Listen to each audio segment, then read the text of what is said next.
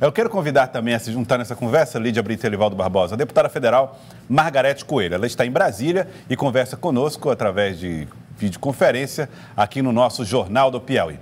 Deputada Federal Margarete Coelho, boa tarde para a senhora, obrigado por atender aqui o nosso convite. Olhando para todo esse cenário, deputada, a senhora que é uma liderança importante do Progressistas, como deve se portar o partido, como a senhora como liderança se comporta e como enxerga esses desdobramentos do afastamento do Partido dos Trabalhadores do Progressistas? Ah, muito boa tarde, Joelson. Muito boa tarde, Lídia, meu querido Elivaldo Barbosa. Muito obrigada pela oportunidade. Acho, Joelson, que você usou o termo correto. Eu acho que não se trata de um rompimento, a minha convicção é essa, do que eu conheço e do que eu convivo proximamente. Talvez eu seja uma das pessoas que conviva mais proximamente com o Ciro e com o Elton Dias. Com ambos, é, tenho a melhor relação de amizade, de parceria, de companheirismo. Fiz minhas eleições todas, né, menos a de deputada estadual primeira, juntamente com o Wellington, é, e juntamente com o PT, e juntamente com o meu querido Progressistas.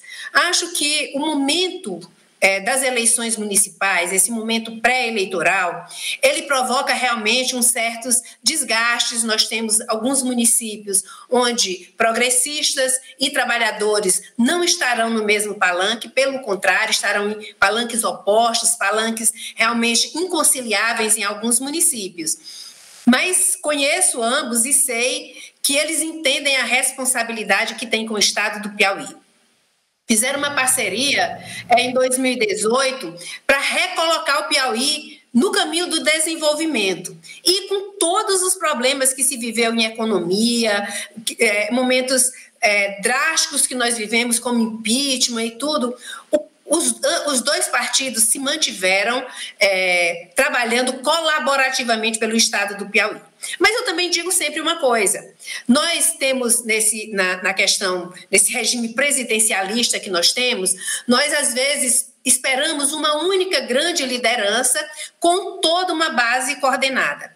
No caso do Piauí, nós temos o governador Wellington Dias, um grande líder, né, qualquer pesquisa no estado do Piauí vai apontar isso, presidente de um grande partido, um partido com uma grande bancada federal. Da mesma forma, nós temos senador Ciro Nogueira, um dos políticos que mais tem trabalhado pelo estado do Piauí, de longe o político que mais trouxe recursos e que continua trazendo recursos para o estado do Piauí, também líder de uma sigla, uma sigla que está ali entre a quarta e a quinta maior sigla do Brasil. Então, são dois grandes líderes. Não há uma relação de subordinação e subordinado, há uma relação de cooperação. E, repito, conhecendo ambos, eu, eu, o que eu acredito é que esse momento municipal haverá sim um afastamento pelos é, desacertos que há em alguns pontos, mas também queria dizer que se há, é, vamos dizer, palanques diferentes em alguns municípios, há palanques juntos, unidos em outros.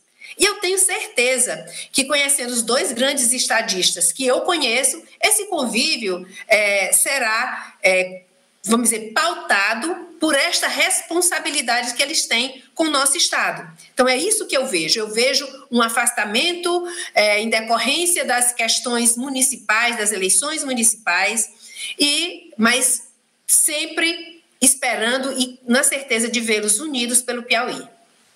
Do cidadeverde.com.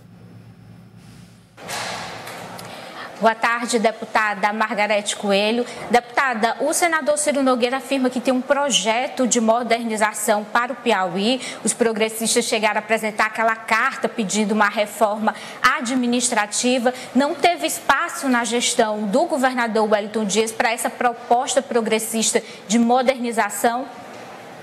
Olha, veja, o, o, a forma que progressistas encontrou de trabalhar pelo estado do Piauí foi a bancada inteira unida, a bancada federal, a bancada estadual, dando todo o suporte ao governo Wellington Dias. E aqui em Brasília, nós levando os recursos necessários, as parcerias necessárias para o estado se desenvolver. Uh, o, o Progressistas tem sua forma de, de administrar tem seu plano de gestão, tem seu conteúdo programático que está no nosso estatuto. O dos Partido dos Trabalhadores também tem o dele. Quem está na gestão é o, o, governador Wellington Dias, então tem a forma dele administrar. Mas isso não impede também que nós, como parceiros, Uh, e como, como aliados e como responsáveis por, por a formação deste governo, que nós também tenhamos uma opinião, que, diver, que, diver, que diverjamos, vale-me Deus, que hajam divergências aqui e ali, divergências pontuais, e que elas sejam colocadas com muita sinceridade. Volto a dizer, não há uma relação aqui de, de, de dependência, de subordinação. Há uma relação de cooperação, de participação igualitariamente e fraternalmente também, né? Há um afastamento agora, ouvimos os dois falarem, né? E parece que isso está claro. Agora, em nenhum momento ouvimos os dois dizerem que estão, vamos dizer assim, é, que um não irá ser contributivo com o outro. E que eu acredito é o chamado do Piauí por Ciro e por Wellington será sempre ouvido. Boa tarde. A senhora fala com muita propriedade sobre essa possibilidade de união, até com base na sua própria terra natal, São Raimundo Nonato, onde lá PT e progressistas estão, no mesmo, é, estão do mesmo lado na administração e tudo indica que estarão também na campanha eleitoral que virá pela frente este ano. Agora, a senhora, pelo que vejo também, vai trabalhar pela manutenção do progressistas da base aliada ao governador Wellington Dias, é isso? Olha, eu vou trabalhar, Elivaldo, sempre por esta, essa grande concertação, por esta grande união em favor do Estado do Piauí.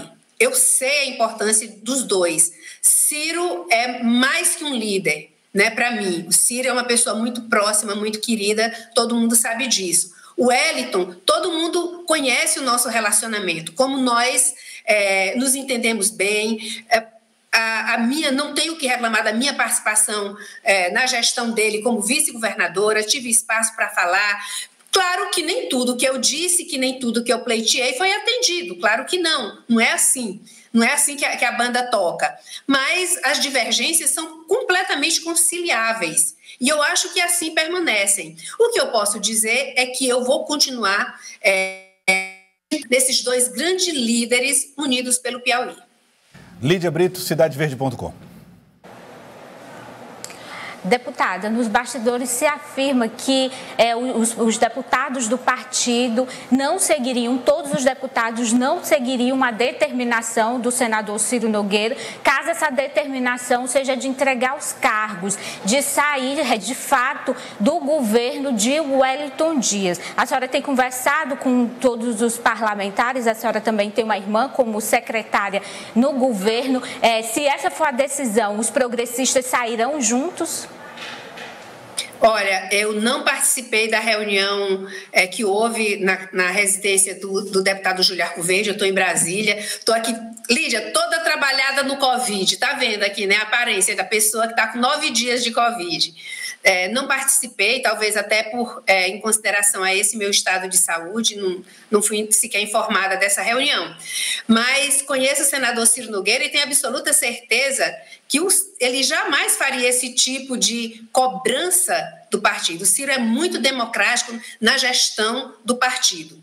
Ele sempre respeitou a autonomia de cada um. É o jeito do Ciro ser, do Ciro administrar. Ele é de muito diálogo. O Ciro ele é assertivo, né?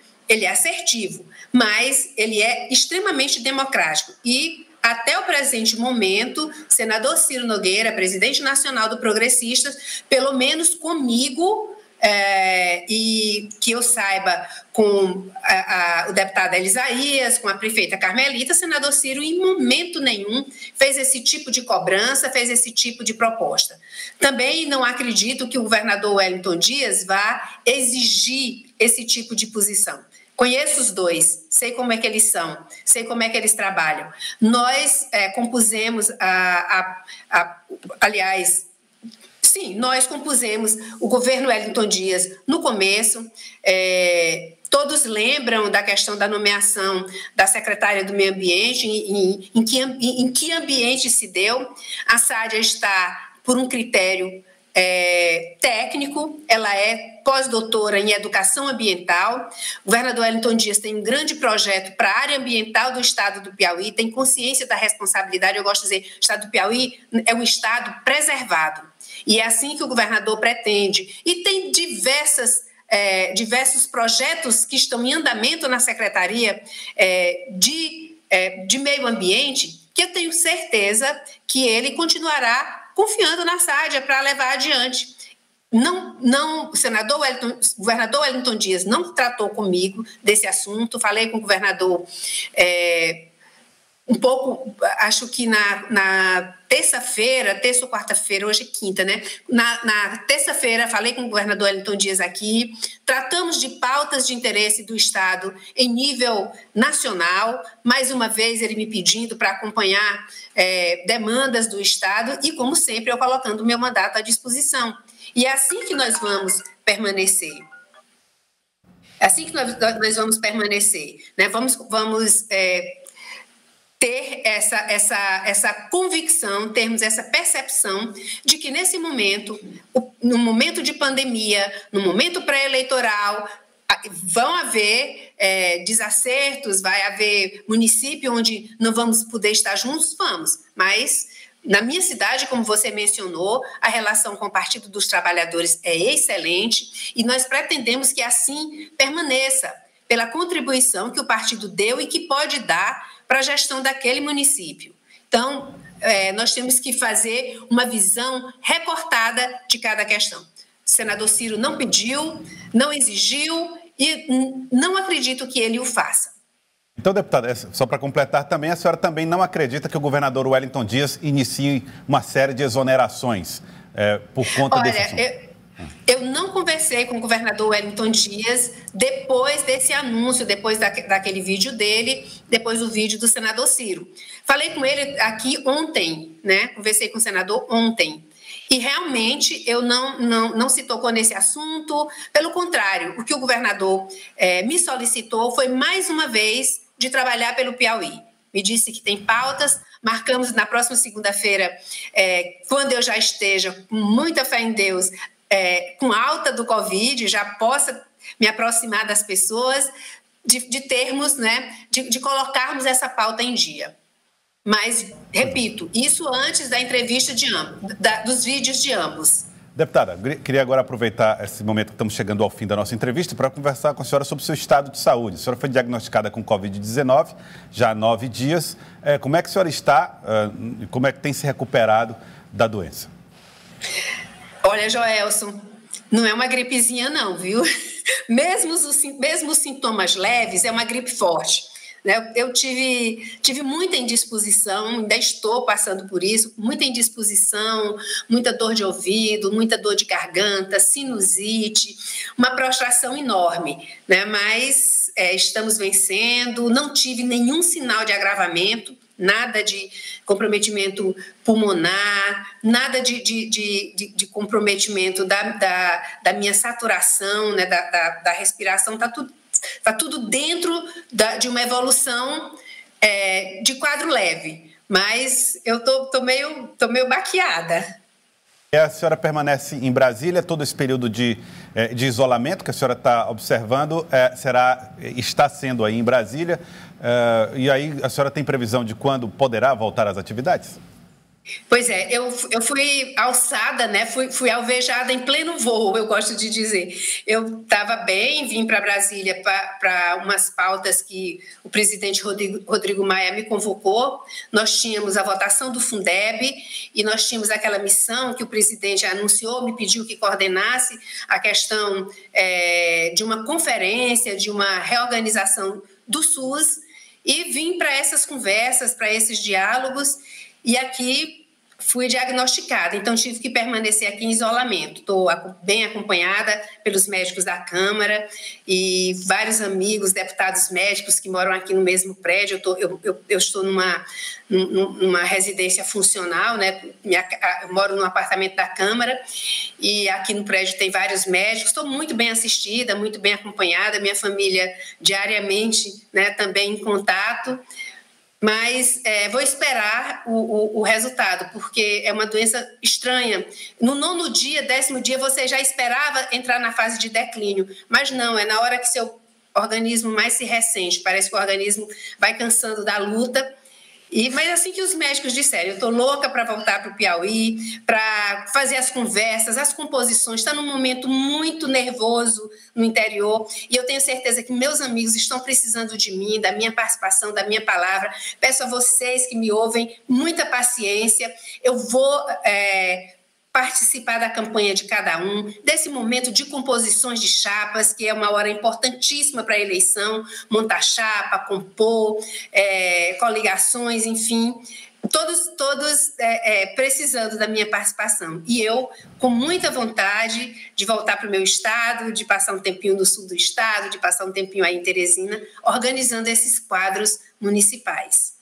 Deputada Margarete Coelho, deputada federal pelo Partido Progressistas, obrigado pela participação aqui no Jornal do Piauí de hoje. Desejamos boa recuperação, saúde para a senhora. Obrigado pela entrevista. Obrigada, eu que agradeço pela oportunidade de estar aqui, de falar com o povo do meu Piauí, mandar um abraço muito apertado, aquele abraço de Covid, né? Aquele abraço de longe, mas é, e vamos esperar que tudo se resolva, que tudo, que tudo se esclareça, que as coisas procurem seu lugar, as coisas sabem o seu lugar. E às vezes elas mesmas se providenciam. Tá certo, muito obrigado, deputada federal Margarete Coelho, obrigado pela entrevista.